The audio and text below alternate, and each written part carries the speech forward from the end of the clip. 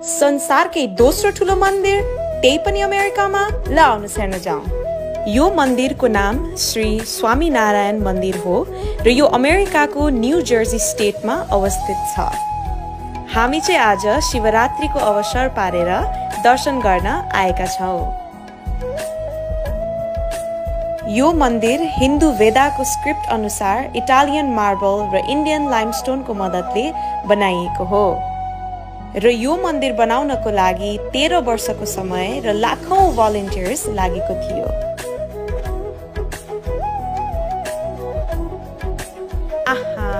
हेर्नुहोस् त यसको आर्किटेक्ट र सानो सानो डिटेल्सहरू धेरै मेहनत र उत्कृष्ट स्किल्सको संयोजन हो यो मन्दिर।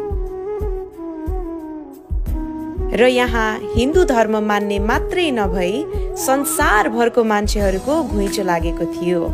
हामी हिन्दूहरूको लागि यो साह्रै नै गर्वको विषय हो।